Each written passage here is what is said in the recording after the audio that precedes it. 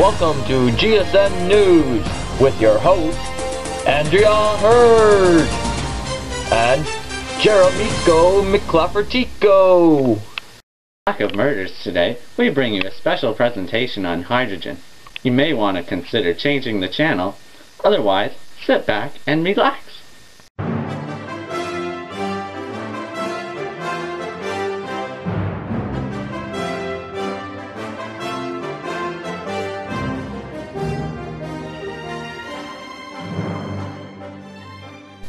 As you may all know, our oil sources are depleting.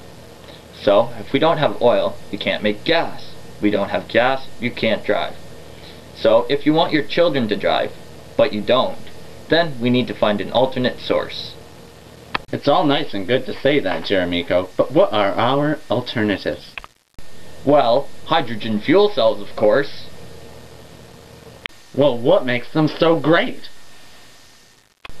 Fossil fuels such as gasoline, diesel, and coal all produce airborne pollutants.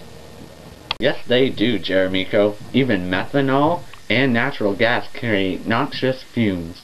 Some of the major pollutants created from these fossil fuels are carbon dioxide, carbon monoxide, nitrogen oxide, and methane. All these pollutants contribute to smog, acid rain, and global warming. But wait, we don't have to use that crap. Hydrogen can solve everything. It is made from water, and when it burns, it goes back into water. Sounds like a clean deal to me. But how do we get this hydrogen you speak of, Jeremico?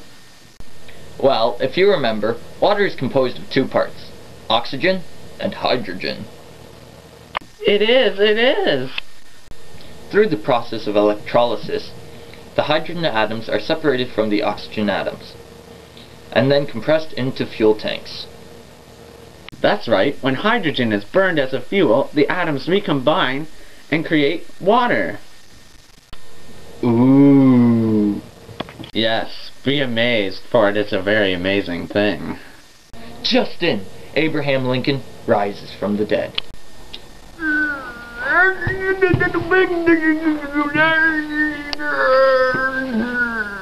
Can't touch this. can't touch this. Can't touch this. can't touch this.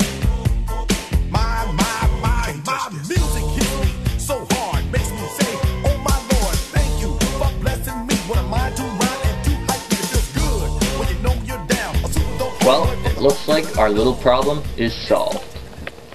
Could you imagine what would happen if a large quantity of hydrogen was spilled into the ocean?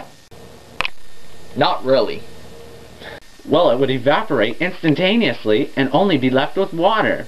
Jeremico, you've explained a lot to me about hydrogen, but what about all these hydrogen fuel cells? You haven't really told me much about them. That's why we have experts on hand. Now over to Mike Crotch to explain hydrogen fuel cells. Thank you, Jeremico, for that lovely introduction.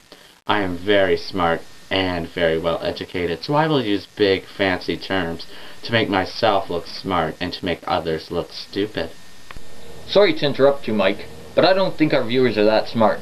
Except for that physics teacher, Mrs. Jones. Hired an expert and you expect me to dumb it down? Hydrogen fuel cells are batteries with only two chemicals hydrogen and oxygen. A fuel cell contains two electrodes which are sandwiched around an electrolyte, with oxygen passing over one electrode and hydrogen passing over the other electrode. Electricity, water, and heat are generated. Hydrogen is fed into the anode, and the oxygen enters the cell through the cathode.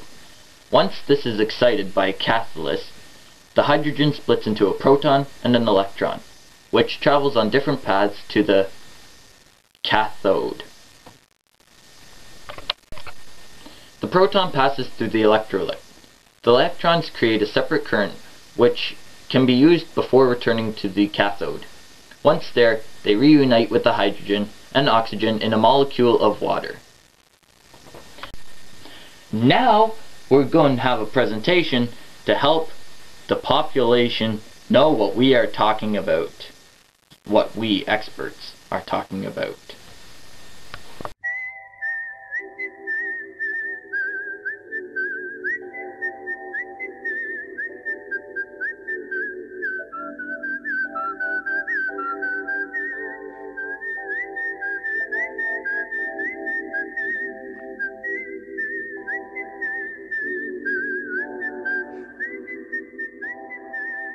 Very well done.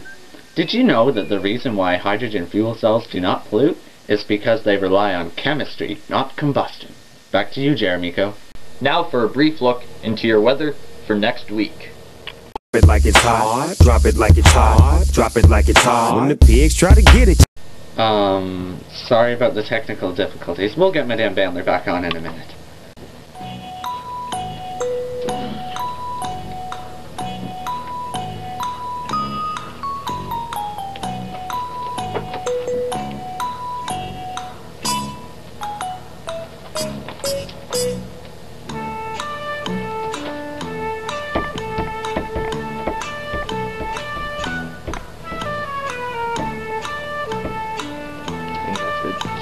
Yeah. oh! Okay, we'll have Madame Bandler back on right now. Et pour expliquer la précipitation, il y a une façon très simple. Pensez tout simplement évaporation, accumulation et précipitation. Thank you, Madame Bandler, for the weather. That was very, uh, informative. Thank you for tuning in to our hydrogen presentation. Just remember that one day, your power plant, cell phone, electrically powered vehicles, emergency backup power, and or your portable electron electronic devices may be powered by hydrogen. Tune in tomorrow so you can delve into the wonderful world of gardening with Madame Bandler. Fertilizer. Thank, Thank you, you, and, and good, good night. night. Oh.